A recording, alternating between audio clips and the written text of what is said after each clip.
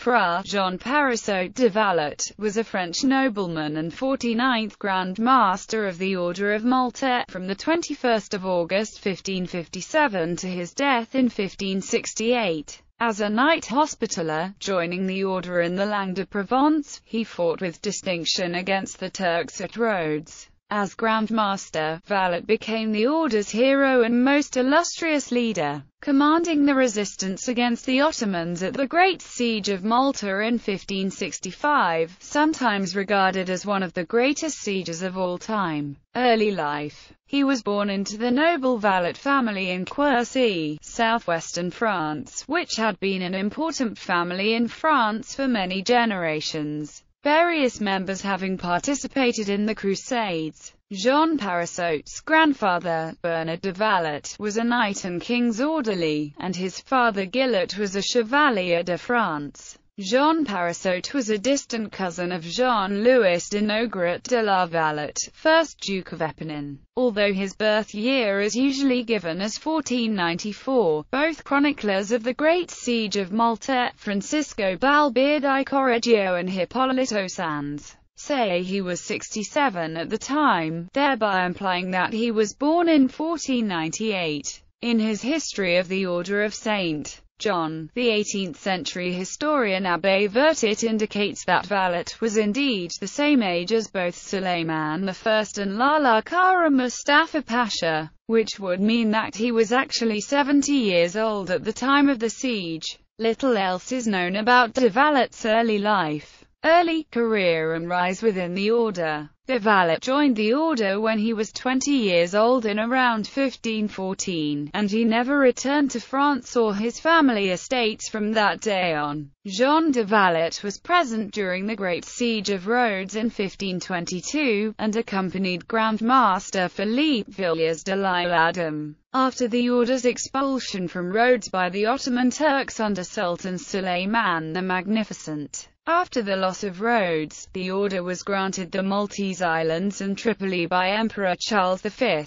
In 1537 Valette became governor of Tripoli, where he tried to restore order within the vulnerable city. In 1538 he was imprisoned in the Gozo prison for four months after attacking a man. In 1541 Valette was involved in a naval battle against Abdurrahman Kustali, in which he was wounded and his galley, the San Giovanni, was captured. De Valette was taken as a galley slave for a year by Barbary pirates under the command of Turgut Reis but was later freed during an exchange of prisoners. In 1554 he was elected Captain General of the Order's galleys. This was a great honor to the Langue of Provence, as throughout most of the Order's history, the position of Grand Admiral was usually held by a Knight Grand Cross of the Italian Langue. In that capacity he won a name that stood conspicuous in that age of great sea captains and was held in the same regard as the Chevalier Maturin Romegas, one of the greatest Christian maritime commanders of the age. In fact both sides had extremely talented sailors.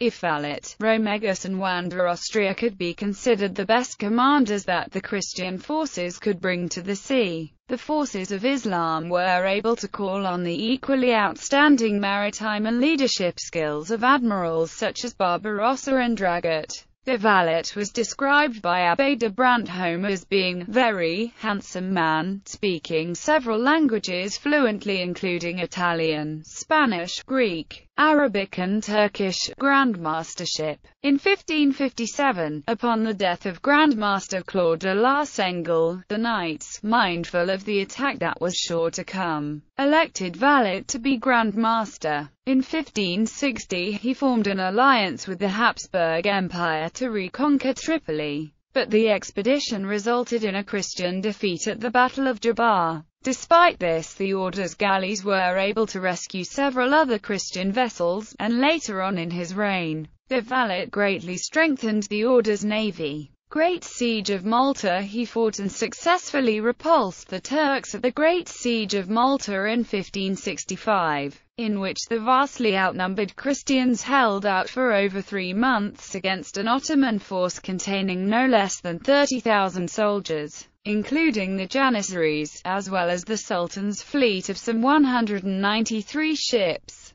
The battle saw the fall of Fort St. Elmo after about a month of fierce fighting, but the order managed to hold out in Birgu and Senglea until her relief force arrived and the Ottomans were defeated. As a result of the order's victory he gained much prestige in Europe but he declined the offer of a cardinal's hat in order to maintain independence from the papacy. This has been attributed to his sense of modesty and his humility as a warrior monk. Building of Valletta and death after the Great Siege, he commissioned the construction of the new city of Valletta in 1566, laying the first stone with his own hands. This took place on the slopes of Mount Sceberras, where the flower of the Turkish army had died whilst trying to storm Fort St. Elmo, which the Turks thought would fall within three or four days, but which, due to the bravery of the defenders, held out for 30 days. The city named after its founder, Humilissima Civitas Valletta, became known as the most aristocratic and exclusive fortress in Europe, a city, most often referred to as Superbissima, the most proud.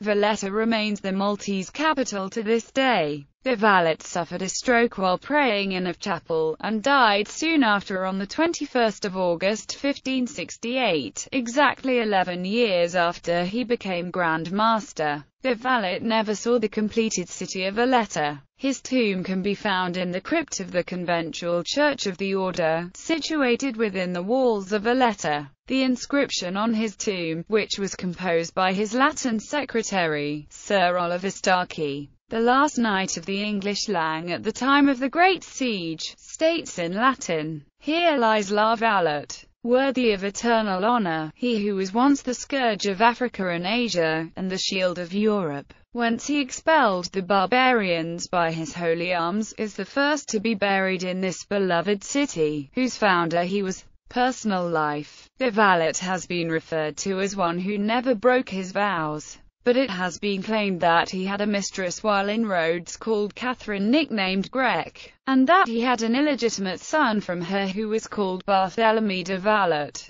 Documentary evidence has been found by Bonello that proves Barthélemy was legitimatized in 1568 by a decree by the King of France. Claims have also been put forth that de Valette had at least another daughter, Isabella Guasconi, after a presumed affair with the wife of a Rodiote nobleman of Florentine descent. Isabella later married a Florentine gentleman Stefano Buonacorsi, but he murdered her on 31 July 1568, sometime after their marriage. After the murder Buonacorsi escaped the islands with Isabella's wealth and was never heard from again. Legacy De Valette is well known for being the Grand Master who won the Great Siege and founded Valletta, a street in the town of Naxxar as well as the flagship of Virtu Ferries MV Jean de la Valette are both named after him. De Valette was also featured on Maltese stamps, coins, banknotes and telecards a number of times.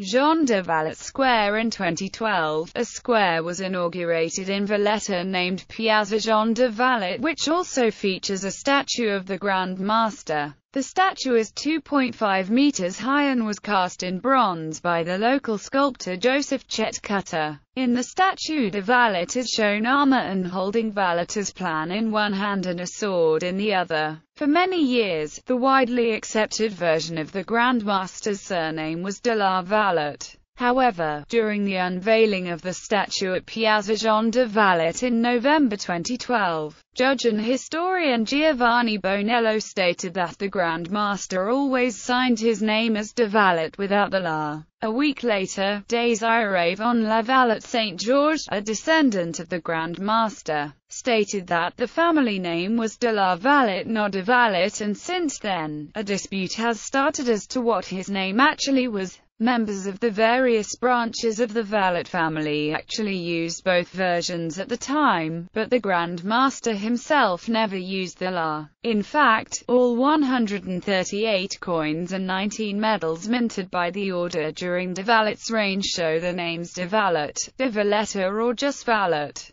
Bonello additionally stated that the La possibly originated since the city of Valletta was commonly called La Valletta, so people started including the La and sometimes the double L in the Grandmaster's name. The name de Valette is now used in Malta, although many still refer to him as de la Valette due to the collective memory. The order's successor, the Sovereign Military Order of Malta, called the Grand Master Fra John de la Valette Parisot in literature. Due to his key role in holding Malta during the siege of 1565, De Valette has appeared as a main and supporting character in several works of literature. Angels in Iron, an historical novel by Nicholas C. Prata. De Valette is the main character and is featured prominently throughout the book. Ironfire, an epic novel of war and love, an adventure novel by David Ball. De Valette is a supporting character. The Religion, a novel by Tim Willocks. De Valette is a supporting character.